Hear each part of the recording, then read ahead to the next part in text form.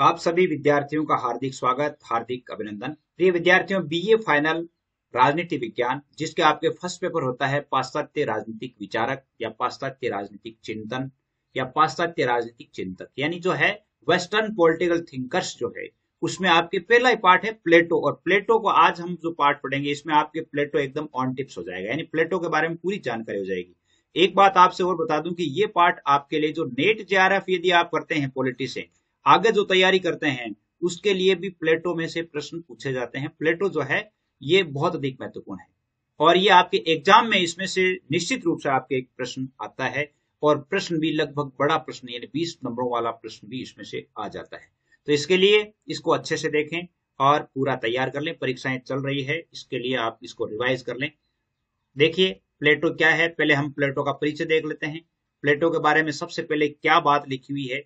कि ईसा पूर्व चौथी और पांचवी शताब्दी, ईसा पूर्व चौथी और पांचवी शताब्दी न केवल प्राचीन यूनान के लिए एक स्वर्ण युग था, बल्कि मानव इतिहास के लिए एक गौरवशाली युग था। चौथी, पांचवी शताब्दी जो है, वो मानव इतिहास के लिए एक गौरवशाली युग था, जहाँ पर सिकंदर जैसे महान राजा और पेरिकली जैसे प्रजातांत्रिक नेता हुए थे। वहीं पर जैसे सुकरात, प्लेटो, अरस्तु जैसे महान दार्शनिक भी उस समय हुए थे। अपने भारत में भी जो है, उस समय जो है, यूँ कह सकते हैं कि इस प्रकार के महान दिव्य महापुरुष हुआ करते थे। तो प्लेटो है जो प्लेटो कौन था? प्लेटो का जीवन परिचय आपको बता दूँ। प्लेटो का जन्म वो एथेंस के एक समृद्ध परिवार में हुआ था 428 से 27 ईस्वी पूर्व। यानी यूँ 427 ईस्वी पूर्व मान सकते हैं। 427 ईस्वी पूर्व में हुआ था। उनके पिता का नाम था अरिस्तोन। माँ का नाम था पेरिकतियोन। क्या नाम था? पेरिकतियोन। यानी उसके पिता का नाम तो अरिस्तोन, माँ का नाम पेरिकतियोन। पिता जो है अरिस्तोन वंशावली से थे और प्राचीन राजाओं में जो वंशावली होती थी, उसमें पोषिदन देवता तक पहुँचती थी। यानी कहने का अर्थ है कि अरिस्तोन की जो वंशावली है, वो यूनान के जो पोषिदन देवता है, उस वंशावली में से माना जाता है। और इनकी माँ का संबंध है, वो एथेंस के सुप्रसिद्ध कानूनों का निर्माण करने वाले सोलन के साथ था। उनकी माँ जो है, मातृकुल जो है यूँ कह सकते हैं कि इनका जो ननियाल जो था, वो एक बहुत बड़े यूँ कह सकते हैं कि प्रसिद्ध व्यक्तियों का एक कुल रहा था और प्लेटो का वास्तविक नाम था अरिस्तोक्लीज। क्या नाम था? अरिस्तोक्लीज इनका वास्तविक नाम था। अब इसका नाम प्लेटो कैसे पड़ा? इसका कारण था कि इसके कंधे भरे हुए थे, चौड़े थे मतलब चौड़े कंधों वाला था और ब्लिस्ट था। इस कारण क्या है कि उनका जो व्यायाम शिक्षक था उसको जो एक्सरसाइज करने वाला शिक्षक था, उसको प्लातोन कहते थे। और प्लातोन का मतलब होता है चौड़ा चपटा। प्लातोन का अर्थ क्या होता है? चौड़ा चपटा। और प्लातोन कहते थे और धीरे धीरे क्या हुआ कि इसका नाम प्लेटो पड़ गया। और इसका शुद्ध यूनानी उच्चारण जो है प्लातोन है। प्लेटो का शुद्ध जो यूनानी उच्चारण क्या है? प्लातोन है। और अरबी में इसका विकृत रूप है वो अफलातून भी है। अफलातून जो है, वो भी प्लातो से ही बना है। तो यह धीरे धीरे क्या है कि प्लाटोन के स्थान पर कालांतर में प्लेटो शब्द का प्रयोग होने लगा और उसे प्लेटो नाम पड़ गया और वो प्लेटो के नाम से विकसित और विख्यात भी हो गया। अब क्या हुआ? जैसे मान जन्म हो गया। युवा अवस्थाओं में अन्य युवकों की तरह उन्होंने भी सोचा कि बालिग होते ही मैं राजनीति में भाग लूँगा, लेकिन ईश्वर जो है वो कुछ अलग चाहता था। वो एक राजनीति के नहीं बन सका। क्यों? क्योंकि महान राजनीतिक दर्शन दार्शनिक बना था। और जिस एथेंस में प्लेटो का जन्म हुआ था, वह यूनान का सबसे एक महान नगर राज्य था। यूनान का एक महान नगर राज्य में था। प्लेटो ने एथेंस और स्पार्टा के साथ 30 वर्षों तक युद्ध जो चला था, उस युद्ध को उन्होंने देखा था। 430 से 400 ईस्वी तक। 430 से 400 ईस्वी तक जो उनके बीच में लगभग 30 वर्षों तक युद्ध चला था, उस युद्ध का वो साक्षी रहा है। और उस युद्ध का नाम है पेलोपोनेशिया। पेलोपोनेशिया के युद्ध में उसने देखा था एथेंस है वो स्पार्टा से हार गया था। एथेंस जो है, स्पार्टा से युद्ध में लड़ते लड़ते हार गया था और एथेंस का वो निवासी था। और प्रजातंत्र को चरमोत्कर्ष से स्वरनाश की ओर गिरते हुए और गुण विहीन होते हुए उसने देखा था कि एथेंस में जो है प्रजातंत्र, प्रजातांत्रिक राज प्रणाली थी और प्रजातंत्र को उन्होंने ऊंधे मुँह बल, ऊंधे मुँह के बल गिरते हुए देखा था, यानी उसको हार खाते हुए देखा था। इसलिए जो पेलोपोनेशिया का युद्ध हुआ था और उसमें एथेंस की जो हार हुई थी, इससे क्या हुआ? प्रजातंत्र की कदम कमर टूट गई। यानी प्रजातंत्र है वो, एक तरह से हार गया था। और 404 ईस्वी पूर्व एक क्रांति ने एथेंस में प्रचलित प्रजातंत्र को उखाड़ दिया था। 404 ईस्वी पूर्व 404 ईस्वी पूर्व में क्या हुआ? कि एथेंस में जो गणतंत्रीय शासन था, उस शासन व्यवस्था को हटा करके और वहाँ पर 30 आदमियों का 30 व्यक्तियों का एक शासन स्थापित हुआ। यानी यूँ कह सकते हैं कि राजतंत्र स्थापित हुआ। और उसमें प्लेटो के निकट संबंधी भी थे। और वो राज जो स्थापित करने वाले थे उनमें प्लेटो के निकट संबंधी भी थे। उन्होंने प्लेटो को भी शासन में भाग लेने के लिए आमंत्रित किया लेकिन उन्होंने देखा कि वो तीस व्यक्ति क्रूर थे हिंसक थे दमनपूर्ण थे। उन लोगों की हिंसकता को और दमनपूर्ण रवैये को देख करके और प्लेटो का खून खोलने लगा और उसे राज, राजनीति से विरक्ति हो गई। यानी राजनीति से उसे उसका मोह भंग हो गया। और क्या हुआ? शीघ्र ही जब वो व्यक्ति, तीस व्यक्ति जब शासन करने लगे थे एथेंस पर तो एक दूसरी और क्रांति हुई। और दूसरी ओर क्रांति हुई तो दूसरी क्रांति में क्या हुआ कि उन तीस व्यक्तियों को मार गिराया, उनका मंडल को समाप्त कर दिया और फिर से एक प्रजातंत्र की स्थापना हो गई। तो फिर क्या है कि खून खराबा हुआ, रक्तपात हुआ। शुरू में तो प्लेटो ने उनका स्वागत किया, लेकिन शीघ्र ही उसके कुकृतियों से उबर करके उसने राजनीति से संन्यास ले लिया। फिर क्या है कि जैसे वहाँ प्रजातंत्र की स्थापना हुई, लेकिन प्रजातांत्रिक जो राजा था उसका भी शासन अच्छा नहीं था और उसे राजनीति से बहुत अधिक घृणा हो गई और वो राजनीति से संन्यास लेकर के चला गया।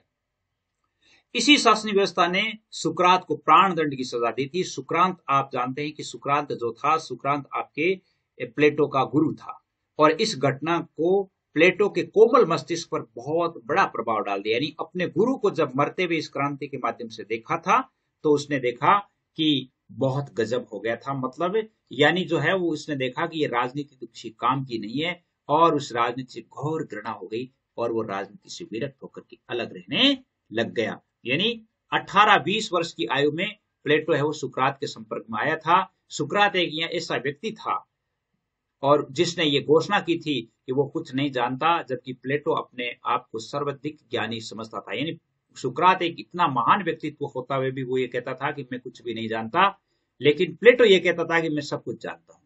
और इतनी विभिन्नताओं के बावजूद भी सुकरात की शिक्षाओं का प्लेटो ने, प्लेटो को आकर्षित किया, यानी प्लेटो पर उसका असर हुआ और प्लेटो उसका शिष्य बना और उसके विचारों से सबसे ज़्यादा प्रभावित हुआ। तो किसके विचारों से प्रभावित हुआ? सुकरात के विचारों से। और तीन सौ निन्यानवे ईस्वी में सुकरात को प्राण दंड देने के बाद प्लेटो है वो एथेंस में रहना ही पसंद नहीं किया। और यानी उसने देख लिया कि अब यहाँ रहना मेरे लिए अच्छा नहीं है। और वह सुकरात जो है, उसका, क्योंकि सुकरात का वो प्रधान शिष्य था और एथेंस की लोकतांत्रिक व्यवस्था का सुकरात है, वो विरोधी था, इसलिए उसने देखा कि ये संकट मेरे ऊपर भी आ सकता है, इसलिए उसने क्या किया? प्लेटो ने अपने कुछ मित्रों के साथ, समीप में एक नगर है जिसका नाम है मेगरा, एथेंस के नज़दीक ही एक नगर है मेगरा, और उस मेगरा में वो चला गया। और वहाँ तक वो बारह वर्षों तक अज्ञात रहा, यानी बारह वर्षों तक उसने कोई सूचना तक नहीं दी। बारह वर्ष तक उन्होंने देश देशांतरों का भ्रमण किया, देश देशांतरों का भ्रमण किया और यानी देशों देशों में घूमता रहा। वहाँ इस काल में उसको पाइथागोरस भी मिला। पाइथागोरस के सिद्धांतों का ज्ञान उसे प्राप्त हुआ। दार्शनिकों का शासन देखने का उसे मौका मिला। तीन सौ सत्यासी ईस्वी पूर्व में उसने इटली और सिसली में वो गया था। सिसली के जो राजा थे, सिराक्यूज, उससे उसकी भेंट हुई। सिसली के सिराक्यूज राज्य में उसकी भेंट है, वो किससे हुई? दियोन से हुई। सिसली में, सिसली का जो सिराकुज राज्य है, सिराक्यूज सिराक्यूज में एक दियोन नामक व्यक्ति थे। दियोन से उसकी भेंट हुई। दियोन बहुत बड़े एक सुसंस्कृत व्यक्ति थे और वहाँ के राजा का नाम था दियोनिशियस। वहाँ के विद्वान का नाम था दियोन और वहाँ के राजा जिसका नाम था दियोनिशियस। अब क्या है कि वहाँ के राजा से भी उसकी भेंट हुई, उसकी और दियोन से भी हुई। दियोन बहुत बड़ा अच्छा एक सुसंस्कृत राजा था। और उसकी प्रेरणा से वो दियोनिशियस को दार्शनिक शासक बनाने को तैयार हो गया दियोन की, यानी सलाह से किंतु जब उसने रिपब्लिक के सिद्धांतों का पाठ पढ़ाते हुए दियोनिशियस के अन्य और निरंकुश शासन की कड़ी आलोचना की तो वह उसकी शिक्षाओं से मुकरने लगा। उसने दियोनिशियस के लिए शासक, राजा तो ये गुरु तो बना था, शिक्षक बना था, लेकिन उसने रिपब्लिक के सिद्धांत पढ़ाने शुरू किए, गणतंत्र के सिद्धांत पढ़ाने शुरू किए, जो कि दियोनिशियस को अच्छा नहीं लगा। और क्या हुआ? कि उसने लगा, उसे जो दियोनिशियस राजा है, वो, उसने कहा कि मैं आपकी बातों को नहीं मानूँगा। और साथ ही उसके जो चाटुकार थे, चापलूस व्यक्ति थे उसके राज दरबार में, उन्होंने कहा कि ये दियोन जो है, ये ठीक नहीं है। और परिणाम ये हुआ कि दियोन को वहाँ से निर्वासित कर दिया। और दियोनिशियस ने प्लेटो को भी स्पार्टा के राजदूत को सौंप दिया। दियोन के पास में ही रहता था। और दियोन ने क्या किया कि जो स्पार्टा के राजा थे, स्पार्टा का जो प्लेटो को स्पार्टा का जो राजदूत था, उस स्पार्टा के राजदूत को सौंप करके वो स्वयं जो है वहाँ से निष्कासित हो गया। और उस राजदूत को, राजदूत ने प्लेटो को एक दास के रूप में खरीदा और फिर क्या है कि उस, वो आगे जाकर के एजाइना टापू में प्लेटो को फिर से बेच दिया। एजाइना टापू में क्या किया? प्लेटो को बेच दिया। यानी वहाँ पर जो है दार्शनिकों का क्रय विक्रय हुआ करता था यूनान में। तो इसलिए उसने एक वहाँ से टापू में बेच दिया और वहाँ टापू में खरीदने वाला जो था, उसका एक पुराना मित्र एनिकेरिस एनिकेरिस जो था, प्लेटो का पुराना मित्र, उसने उसे खरीद करके और उसको मुक्त कर दिया और कहा कि तुम एथेंस वापस चले जाओ। इससे क्या हुआ कि वो एथेंस आ गया। यानी बारह वर्षों तक का जो समय था, इस बारह वर्षों के समय में उसे बहुत कुछ सीखने को मिला। इस प्रकार, प्लेटो के शिष्यों ने जो धन है वो अनिकेरिस को उसका रुपया वापस लौटाना चाहा। किंतु उसके द्वारा धनराशि स्वीकार नहीं करने पर धनराशि से एथेंस के बाहर अकादमी स्वाटी का मोल ले ली और यहाँ प्लेटो ने तीन सौ छियासी ईस्वी पूर्व लगभग अपना शिक्षणालय खोल लिया, जिसमें उसने अपने जीवन के शेष चालीस चालीस वर्ष वो व्यतीत किए। तीन सौ छियासी ईस्वी में उसने क्या किया? वहाँ पर जो है, एथेंस के बाहर में एक अकादमी स्वाटिका खोली थी। वहाँ पर एक, यू कह सकते हैं कि एक स्कूल खोल लिया। और स्कूल खोल करके जो बाकी के जो चालीस वर्ष थे, वो चालीस वर्ष उसने वहीं पर बिताए थे। अब जो प्लेटो ने जो यहाँ पर जो ये अकादमी खोली थी, उस अकादमी के दो उद्देश्य थे। पहली था कि विशुद्ध शोध का केंद्र थी और दूसरा ये राजनीति और कला के प्रशिक्षण की पाठशाला थी जिसे विधायक और राजनेता तैयार करने का दायित्व उसका निर्वाह करना था। उसने देखा कि यहाँ पर मेरा काम यही रहेगा। प्लेटो की अकादमी में गणित और जामिति का अध्ययन भी करवाया जाता था और इसी पर सबसे ज़्यादा महत्व दिया जाता है यहाँ से प्रश्न आ सकता है कि कौन सा विषय सबसे ज़्यादा पढ़ाया जाता था इसके अतिरिक्त यहाँ पर राजनीति विज्ञान तर्क शास्त्र आचार शास्त्र विधि शास्त्र वनस्पति शास्त्र मानव शास्त्र बहुत सारे विषय वहाँ पर पढ़ाए जाते थे।